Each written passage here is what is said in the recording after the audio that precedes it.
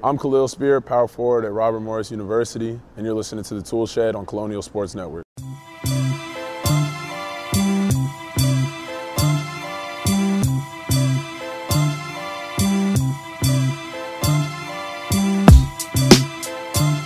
Welcome back to another episode of the Toole Shed. I'm Ethan Morrison alongside Tyler Gallo, and today we have a very special guest here on the podcast.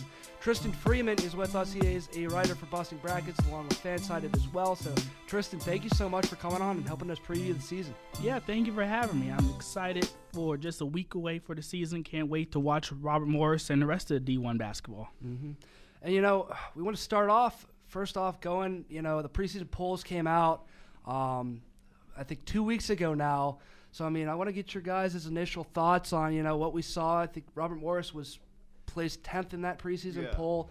Um, I mean, Tyler, I'll start off with you. What, I mean, what are your thoughts, initial thoughts coming into the season? So we talked about it on our last one that we recorded, um, and we said that it's just a lot of undervaluing is going on with the Colonials, and you know, like as as Jon Rothstein would say, you got to buy stock now on this team because this is a team that's definitely on the rise, and we've seen, you know, I mean, looking at some of the players that they've brought in, and looking at how they could potentially gel together is really important for how this team is going to have success this season, and I think that. Anywhere in the middle of the pack is perfect for them. I don't think tenth. I think tenth is a bit of a disservice to this team. Tristan, same to you. Yeah, I, I think there's a clear divide between the top half and the bottom half of the Horizon League. You have teams like Cleveland State, Wright State, uh, Detroit, Milwaukee. They're the consensus top four or five teams.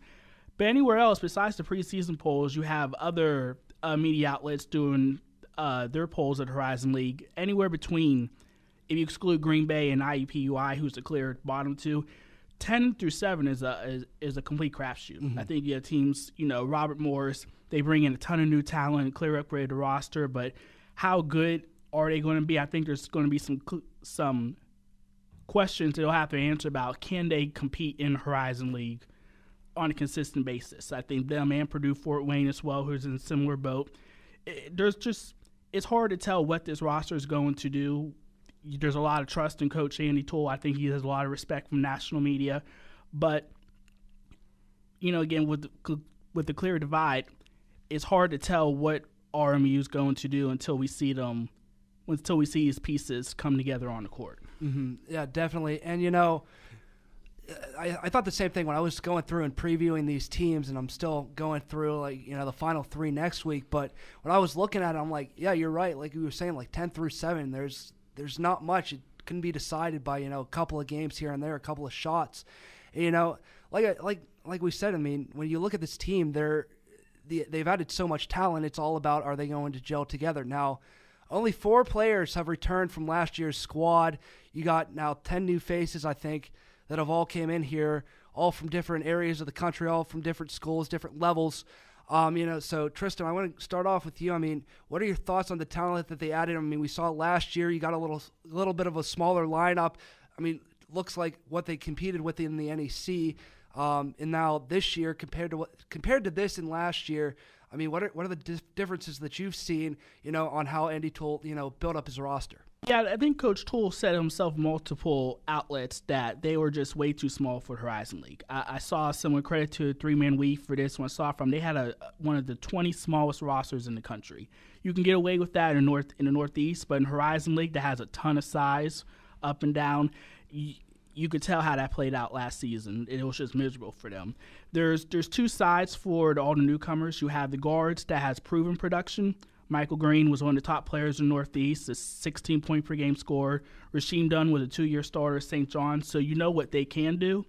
In the front court, to join Kahliel Spears, there's just a lot of potential. You know, a lot of these guys average about four or five points at the previous spots, a lot of size, a lot of toughness, a lot of depth now this year, but which among them is going to stand out and become the clear go to guys in the front court, that's going to answer a lot of questions because you can have as much size as possible, but if these guys are only averaging four or five points a game in Horizon League and are struggling defensively, then it doesn't matter much. Mm-hmm. Tyler, I mean, what, what are your thoughts on you know how you know, Toole has been able to build up his roster? So obviously, the you know on paper the team looks great with all the schools they've come from, but like so many people have said, and like Tristan just said, I mean, it's all about how they can play consistently um, and how they can slot in. You know, we know how the talent that Justin Winston brings in from St. Bonaventure. I believe he averaged nine points in his rookie season, if I'm remembering correctly. You know, obviously, Ferron Flavors has had success at the collegiate level before, but then really saw a dip in production when he got to the bigger school in Oklahoma State. So it's really, like like I said before, it's a mysterious team coming into this year. But I do think that if anyone's going to get a team like this to buy in, it's Andy Toole. Mm-hmm. And I mean, you, you know, you see you know who they've been able to bring in. They, they brought in some more size, a lot more size. A lot of other outlets are saying, "Oh, they're undersized still. They're going to be running three guards." I don't really think we're going to see them. You know, you're going to see them run three guards. I mean, sometimes I don't think it's going to be an every game occurrence just because you're going to need to match up with that size. You know, play more of the big men. I mean, you got guys that can shoot from the outside. Justin Winston's a very good outside shooter. Mateo Kunto is able to hit hit it from the outside as well. Even Brandon Stone, who's a who's a center, is able to hit from the outside at a pretty decent clip. I think around like 25 percent that he hit in at LaSalle. So you know, combining that with you know the guard play that they have, you, you mentioned Ferron Flav- Ferron Flavors and Rasheem Dunn, all of those guys, being able to you know complement those guys as well, and along with that veteran presence, is going to be looking very good for this team this year, and you know is going to be able to surprise a lot of teams. Um, so you know, going in, into taking a look at the schedule, they have a gauntlet to start the year, going up against Central Florida to start the year on November 10th. Then they travel to Lexington, Lexington, Kentucky on November 12th. This is the first game that I'm really going to be looking at for them. I mean, we know. I mean, I've seen this team. I've watched this team over the over the past couple of years, and it's always them starting off slow, not able to find their like footing as much early on. But you know, you got a great opportunity to you know test your guys out. This is a good test for them, especially going up against some bigger schools like UCF and um, Kentucky, and then after that is Ohio as well. So I mean, those first three games. What are your guys' thoughts on those? And you know, what is Robert Morris? They might not necessarily win all three of those, but what's going to be a good uh, factor, and what's going to what are you going to be looking at in terms of you know what we're going to see from this team the rest of the year? So I think, like you said, they they often start slow. I mean, there's no question about that. We've seen it the past four years, four years that I've been here. Um, it's perfect for them. I think it's a way to get their feet under them against some of the top tier teams, like especially Kentucky. I mean, we'll be there. We'll see you watching that game. That'll be awesome to watch. But that MTE is going to be really important for them because they've got three games in the span of a week, and it's going to really test how they can bounce back after a tough loss. Like maybe they get boat race by Kentucky in that game. They come back against Ohio, put up a good performance. You don't really know what's going to happen, but that is perfect for them. And then starting off the season against a pretty, you know, mid-tier solid team in, uh, Central Florida is going to be good for them, I think. Yeah, I, I, think the Central Florida game is going to be a complete contrast in a team in UCF that returns everybody from last year. They're going to have a whole, their chemistry is going to be fine. There's nothing to worry about for them versus Robert Morris, who's going to have a bunch of guys playing together effectively for the first time. So the, the you know the good news is these are this is a very old Robert Morris team. You have a couple of fifth year guys and and Dunn and Flavors that's going to be used to this kind of scenario, and then you know Kentucky. You know, a whole bunch of new pieces, but this is also a team that's going to be on a revenge tour. They had nine wins. They were complete laughing stock in the national media. They're going to come out and they're going to want to dominate every team that that on paper is inferior to them as possible. So this is going to be a scenario where the Colonials are going to have to come together soon, or else they're, they're going to have a a rough record headed into to Horizon League play. But they're, but I. I trust Coach Toole that he's going to have them ready. I think there's a lot of talent and experience that they're, they're going to be a fairly competitive team. And this team also has a lot to prove themselves after what happened last year. So it's going to be a good situation to get a lot of experience and growth and head into January, which is what really matters for the program. Mm-hmm. And, you know, that Ohio team went to the tournament last year. And, you know, right after them is Mount St. Mary's. So renewing that old NEC rivalry is something that, you know, I was looking to see if they were going to do something with that. I mean, I know St. Francis later in the schedule where they said, I think last year, that they were going to continue that series with them past this season. So you got that NEC rivalry, November 19th, the home opener. I think that's their first real test. If they can, you know, sh- put up a strong so- showing against Mount St. Mary's, and you know, if they're able to get production from guys that, you know, and able to use that depth that they have, um, I think that's going to be one of their big first tests for them in this non-conference uh, non-conference race. Um, and then right after that, uh, on November 27th, they play against Davidson down in North Carolina. That's another game where it's a pretty good high major school in Davidson. Uh, they're one of the, I think they're one of the top mid major or mid major teams in the country. So I mean, another one of those games where you know it's going to be tough for Robert Morris to you know be able to win that game, but you know looking at you know if they're able to get production, like I said earlier, against like a Kentucky team, able to get production from guys, I think that's going to be uh, a really good game for them to you know kind of have an opportunity to, to grow. Um, and then obviously, I mean, what are your guys' thoughts? I mean, right after that game, December second, the first Horizon League matchup of the year. What are your guys' thoughts about you know putting sticking Horizon League games you know earlier in the non-conference schedule before you finish out the uh, right? I'll, Tristan, I'll start with you. Yeah, it, it's happening for a number of conferences. The Big Ten's been doing it for a few years. You know, a lot of these conferences are going to 20 games now. Uh, Horizon League is unique because they're going 22 for a complete round robin. You know, the goal is to get as many games in as possible. And for a team like the, for a conference like the Horizon League, who isn't one of the lower tier automatic one bid majors, but isn't on the same level as the A10 or WCC, I think having as many conference games as possible instead of the just having a whole bunch of buy games that's not going to do anything good for your resume. You might as well have these competitive games ready now. That way, you'll really be good to go in January, which is what's going to matter for all of these teams, whether they have a shot at an at-large bid or not. Mm-hmm. I think they lucked out with the two first teams they're going to face off against because traveling to Green Bay and Milwaukee right away is probably going to help them in the long run because that is the toughest trip they would take all season long is when you go up to that you know Wisconsin and um, you know northern part of the trip, which is good for them. Like we saw teams in the past, other teams on campus who go up there and then they lose all the wind out of their sails. They didn't get they didn't go to these two schools last year. They didn't no team at RMU actually played Green Bay last year, or except for softball. But it's it's a good trip for them to get out of right of the way, right out of the way, and then they go back into non-conference. So it's sort of like a I guess a stagnated or not a stagnated, but uh, I don't know what word I'm trying to use there, but a um, one that you can use to sort of stop and start as a way to gauge how good you are, and then you get back into non-conference, so you don't got to worry. The games don't matter for the conference schedule at least, and then you move on and get back into the Horizon League play. So it's important. If, if I'm not mistaken, uh, is it the first five games for Robert Morris all on the road in conference play?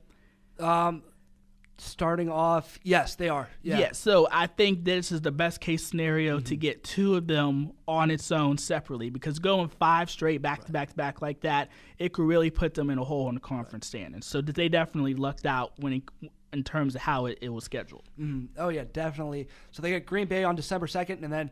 December 4th, nationally televised game on ESPNU against Milwaukee. First taste of Patrick Baldwin Jr. Um, Tristan, I mean, I know Tyler and I have talked about it at nauseum, but you know, what are your thoughts on Patrick Baldwin Jr. picking Milwaukee, playing with his dad? Um, and you know, what does it mean for this conference? It's, it's huge news for the Horizon League in general. I mean, for uh, not he's not just a five star, but a top ten, the top five overall guy, clear cut one and done, a six eight versatile forward. He's probably going to play point, which is probably why Te'Jon Lucas transferred out he's he's going to be an absolute star.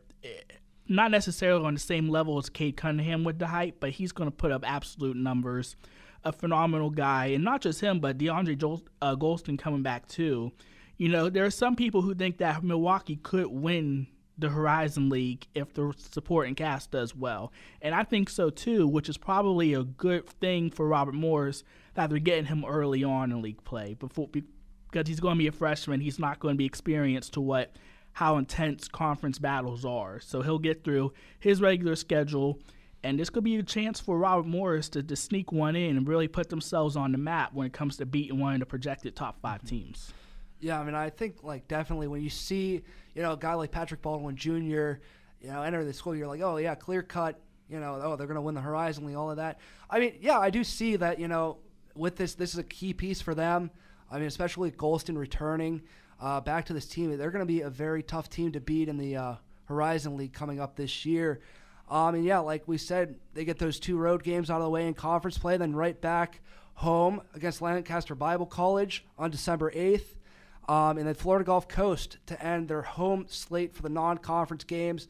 Florida Gulf Coast is another uh, game, you know, where I look at, you know, it's a good check-in point for them, especially after their first two conference games on the schedule. This is a this is a this is a game that they should probably win, especially at home.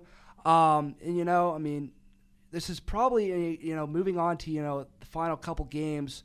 This is a game where you know once again check in and see you know where's this team at? Are they you know starting to turn that corner if they were to struggle early on in this um, in the in the season.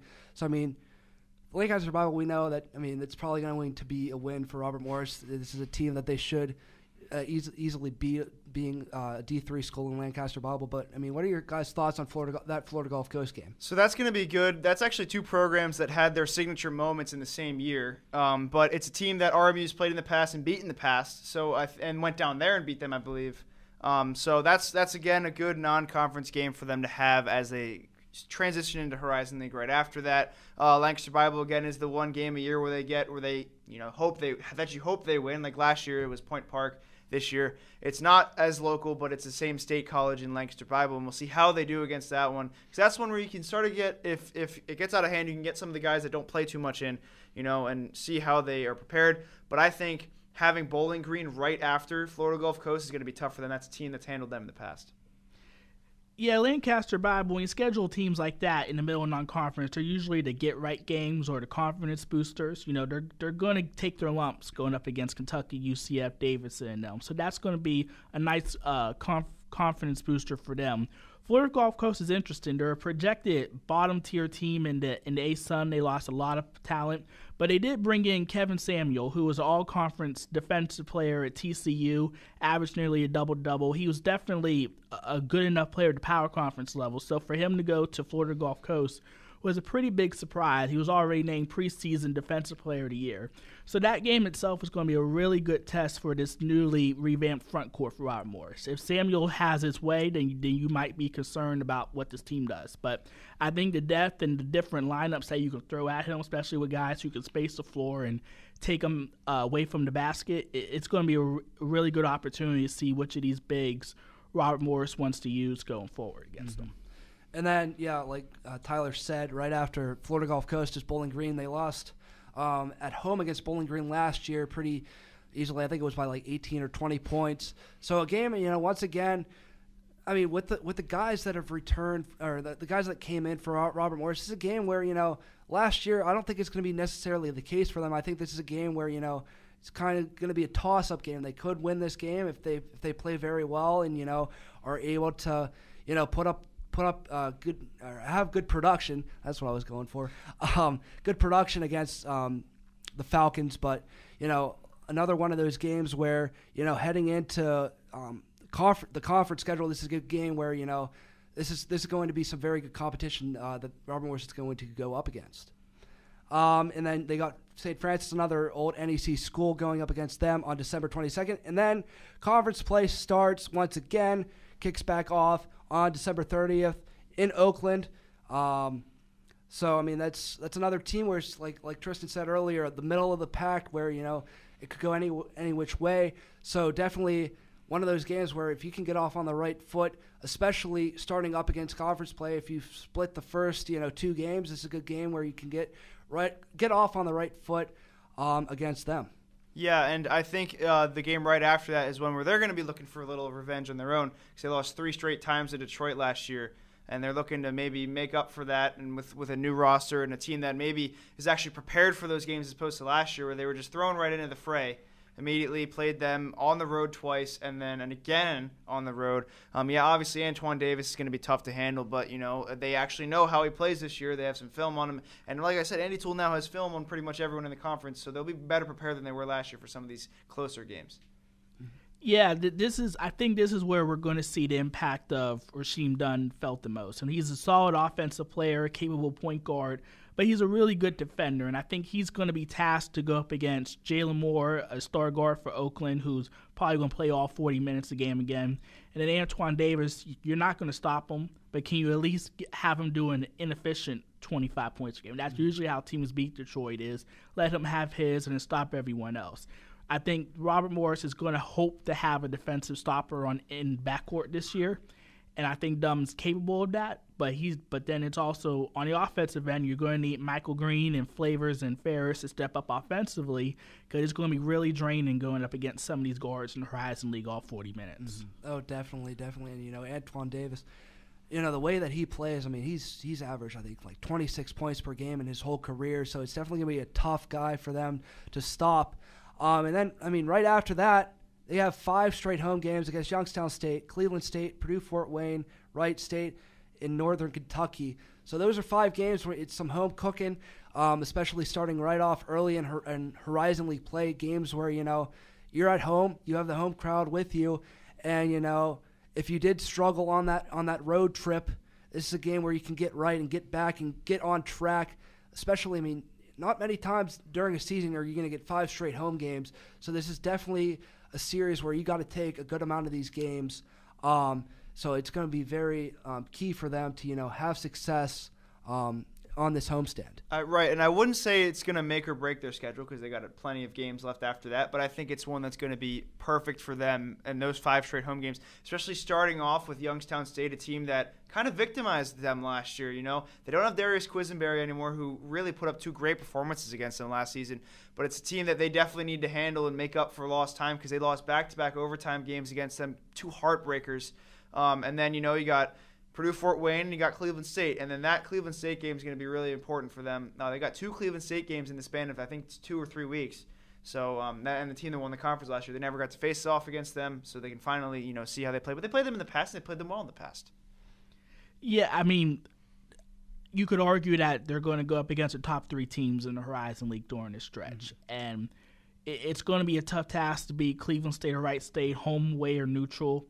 But these are the games, especially as Tyler talked about. Robert Morris didn't even play the top teams mm-hmm. in the unbalanced schedule last year, so having a much better roster compared to what they did a year ago, it should put them in an opportunity. These are games that if you want to finish in the top six, seven of the standings, these you have to sneak one of those wins. Mm-hmm. You you have to beat Youngstown State. That's an absolute must on this stretch. Uh, Purdue, Fort Wayne, same thing, cons- considering who else you have. And if you can just sneak one of those three, Wright State, Northern Kentucky, or Cleveland State, then you would feel really good about this stretch. Anything worse than three or two, and you could be staring at a bottom four finish in the conference. Mm-hmm. Definitely, definitely. And, you know, like Tyler stated, uh, Purdue, Fort Wayne, and Cleveland State right after that. And then they're back home against Milwaukee, and then they played Green Bay once again at home on January 29th, and we're in, already into February. Uh, they got UIC and IUPUI, two teams that they should they, they should be able to beat on the road. I know they've had some troubles with UIC in the past, losing both games last year and then a game the year before. Um, but you know, definitely a UIC team that's hurting now after you know Rob Howard is is gone and some other guys that they did lose from their team last year that they had a lot of success with. Um, so definitely a team there that uh, that they could definitely win a game there in Chicago, and then obviously IUPUI today with the news with Zach Gunn out for the year. They were already hurting for guys um, being ranked, you know, last in the preseason poll with a new head coach on the way as well. Um, losing him as well, it's definitely a bigger loss for them. Um, so definitely a game that Army should win in February against the Jaguars. Yeah, and those are ones. That's the stretch where you're looking at. Where you're like, okay, you know, maybe if we went a little bit rough, we can finally, you know, get some wins under our belt. And um, UIC last year was really tough for them on the road, especially. You know, and they they got uh, crushed by another overtime loss in that series. You know, they had to. I believe they had to start a bunch of freshmen in that series as well because they were missing a couple of guys. So now that they have experienced guys going to these um, towns, going to these cities that they um, maybe you may not have played in in the past they can be better prepared for these two games, I think, be, than that stretch. And then they close it out with some a bit of a lighter schedule, but also tougher. As you'll see, Wright State and Cleveland State later in the season. Mm-hmm. Yeah, um, yeah. I mean, and then after that, they got Detroit Mercy and Oakland at home, and then they go on the road for a quick uh, um, meeting with Youngstown State. Um, and then IUPUI and UIC again at home. So yeah, like Tyler said, this is a stretch where you can win a lot of these games, and you know see yourself moving up in the conference if they did struggle um, earlier on. And then finally, to close out the season, Northern Kentucky and Wright State, two of the top teams in the Horizon League. That's a that's a tough way to end the season, but you know, a, a, a stretch where you need to take at least one of these games. Yeah, it was a uh, bit of a top-heavy, you know, first half, like you said, with the five straight games against the tougher teams. But then you close it out with those two tough ones. It's going to be tough to gauge really what's going to happen in these games. Mm-hmm. And you know, yeah, that's that's the schedule. I mean, so moving on, do we have any players to watch? I mean, Tristan, I'll start off with you. Who are you most looking forward to seeing this year? Uh, definitely the backcourt tandem of Michael Green, Rasheem Dunn. There's a chance, you know, there's a lot of great individual guards, but Robert Morris has a chance to have one of the better backcourts. And it'll be interesting to see how the three point shooting goes for Dunn and Green. Both of them are point guard, capable point guards, but their pass doesn't boat well when it comes to three point shooting, which is great why you have uh, Favors and Harris. But do you necessarily want to go three guard offenses? And you might have to if those two starting guards aren't great shooters because you need somebody at the three spot that is a capable shooter as well, as well as what we're going to see from the front court. But I'm really interested to see what these guards do because this is still a guard heavy conference. I'm excited to see what uh, Kahliel Spear does this season after he has less of a burden placed on him to be, you know, the guy after AJ Bramah leaves because um, he really stepped up. And then um, again, another returning guy, Cam Ferris, you know, shot at 47% from three last year. Looked like he was just a dead eye from outside. So if he can continue that, it's going to be good. And then, you know, a new guy coming in. I've always said Justin Winston's my guy that I'm going to be looking at and see how he handles from moving from the A10 over to here and see what, um, you know, we've been all hearing about him from practices and, you know, hitting from threes and stuff like that. So it's going to be interesting to see how he plays joining the squad. I mean, definitely the new guys that stick out to me is definitely Winston. Also Stone. I mean, being able to have that bigger bigger guy in your lineup is definitely going to benefit them. After you know, not being able to be the most uh, the most uh, tall team on the court. Um, you know, they've struggled with rebounding in the past, especially in that non-conference schedule. Um, and you know, definitely in the Horizon League last year. Uh, but have, being on have that true center guy, I think that's going to be very key for them, and definitely one that I'm going to be looking into as well. But definitely just just the guys that are able to stretch the floor. Some of the bigger guys like Winston, Mattia Kunzo as well. Those guys that are able to stretch the floor, and you know, you know, be able to space out this offense is definitely going to be something that I'm going to be looking out for. I mean, also, you know, Cam Ferris as well, guy that averaged eight and a half points last year had a significant role on the team. You know, seeing how he you know works together with you know Michael Green, Ferron Flavors, and Rasheem Dunn, seeing how all of that works out with them, I think it's going to be very crucial for them this year and something that I'm going to be looking towards and looking forward towards as the season progresses. Well, Tristan, I mean, is there anything else you would like to add before we wrap up this episode? Yeah, I think it's important to keep in mind that this is a new level of rebuilding for the program. Going from the Northeast to the Horizon League is a genuinely big jump. And they took their lumps last year, rebuilt roster. They're going to take lumps this year, but it's more so have to do with the strength of the conference. I think if you take out the two juniors for Wright State who are stars, even after Loudon Love leaves, every all the other top players in this conference are either seniors or the freshmen uh, for Milwaukee. So there's a really good chance after this year, teams like Detroit, Milwaukee, Oakland are going to take big steps back. Cleveland State as well, especially if uh, head coach Dennis Gates becomes part of the coaching carousel and moves on as well, and most of their team is fifth year seniors themselves.